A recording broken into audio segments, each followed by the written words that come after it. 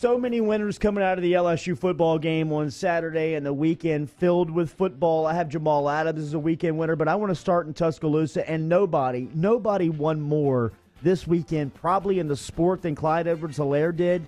He's a draft eligible junior right out of Baton Rouge, and the amount of money he made himself on Saturday by proving to the NFL scouts, executives that were on hand there, by the way, all 32 teams were represented at that game on Saturday. Yeah. A couple of general managers, a couple of guys that make decisions. Probably had like guy, yeah.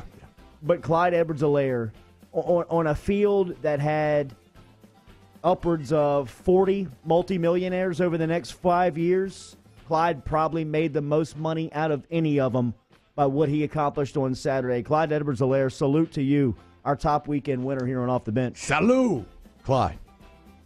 Um, my weekend winner. Um, I don't know, uh, just to all of LSU, every one of you, every single LSU fan out there, every single member of the LSU hive mind that waited so long for this day. Like I kept saying last week, right? Um, the last time LSU had beaten Alabama, I was on the team. I'm now 30 years old and expecting my second child. it was a long wait, and yet the drought is finally over. It was all worth it. We are all winners. And you know who else is a winner? The Swamp King. Shout out to the King. The Crimson Emperor's in full retreat. Nikki?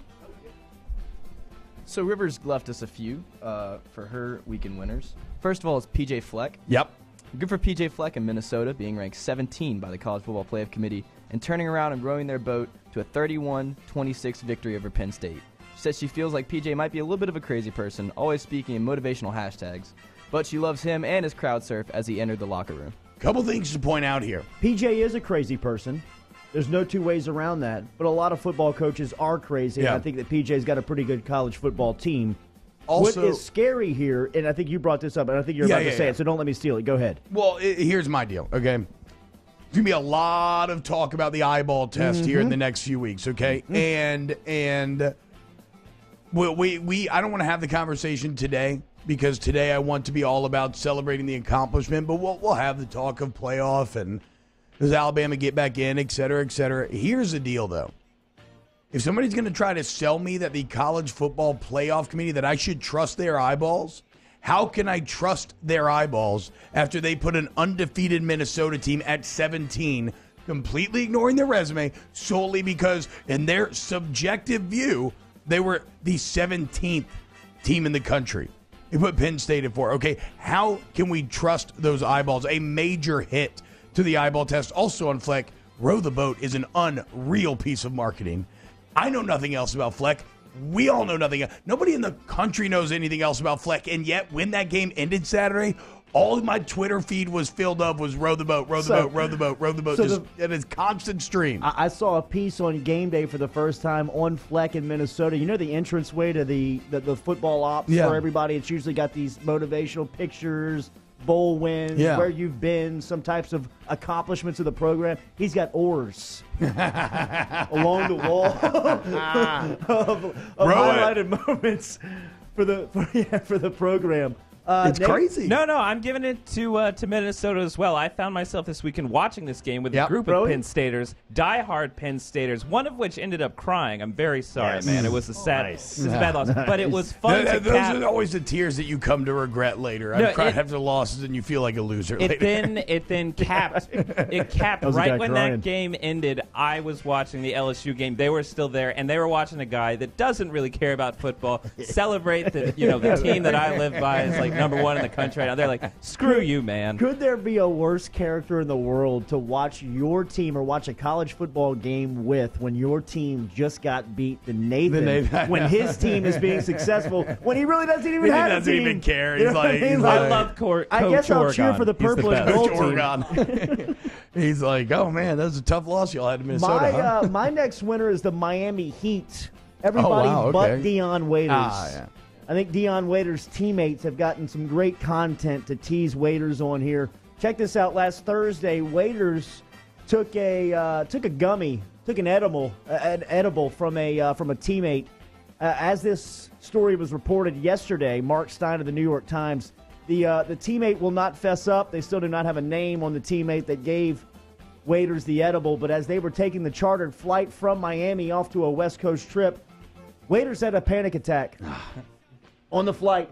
Too stoned, thirty thousand ah. feet up. Damn. Told the uh, told the pilot, we got to turn this thing around, man. We've all been there. I got to get back. I got to get back home. I can't do this anymore. Turn the plane around. They flip the plane around, go back to Miami, drop waiters off. He's now suspended ten days conduct uh, conduct detrimental to the team. Yeah.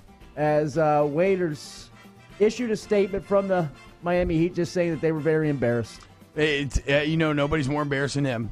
Um, Just keep it together. Keep it together, Just man. That's the bottom bro. line, dude. You got to maintain. Maintain. Talk to a friend. It happens. You just have to constantly remind yourself, like no one's ever died from marijuana. You got to. You know, you know the nameless teammate that still is anonymous at this point. At that time, over as they're up in the air, and he's freaking out. It's like, bro, bro, get it bro, together. Go in you the bathroom. have got to chill out. Stare in the mirror. Just take some Nyquil. Pass Here's out. some water. Here's some gum. Chew this. I mean, get I'm, it together, I'm man. Shocked though. Team doctor couldn't slip him like an Ambien or something, like or like a, like a Xanax, like just Knock get him get out. him under control. Either way, waiters, um, get it together, man. Uh, my weekend winner, same way Willie Taggart was. Let's just add Chad Morris to the list. Chad man. Um, man, what a job being getting a major college football coaching gig must be. Uh, because it doesn't matter if you're you have to be good enough to get the job, okay? And that that is hard. Like what Chad Morris did at SMU is impressive. You have to be good enough to get the job, but once you get it, you're paid. It don't matter. You can be terrible. You can have Chad Morris's record and win what like four games or whatever it was in two years ago, winless in the SEC, and yet my man is still going to be getting paid ten million dollars through 2023 not to work. We talked Wow. about athletes that were getting paid. Justin Verlander fits this this mold as good as anybody who's gotten so much hundreds of millions of dollars to be a top performer and just when he gets to the top area of his his trade to the World Series, he's 0 for 6.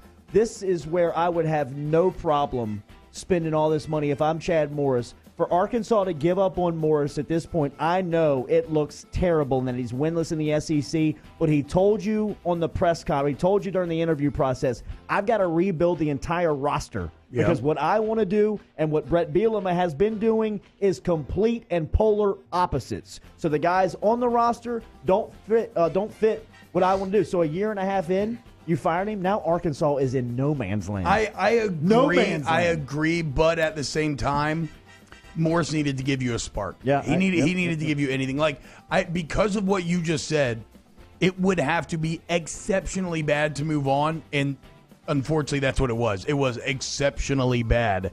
And so, yeah, no hope for it. Look, Arkansas, you got more money than God. Like, you got more billionaires in your alumni base than anybody. Like, at a certain point, if They're you want to be, a, yeah, you just you just gotta, I, I, you got to go try to just make some sort of splashy, huge money hire. So Sean Payton did not have a huge win on the field, obviously on Sunday, but we're not going to talk about that. We're going to talk about his huge win off the field. He got engaged to his longtime girlfriend, Skyler Montgomery, at a private party at Longway Tavern on Friday night. Yeah. Apparently, she What's the thought the, problem? event was for an anniversary of Saints owner Gayle Benson and her late husband Tom, but surprise, your girl got ringed up. I mean, Sean, bro, the bye week was last week. Oh, it was a Friday.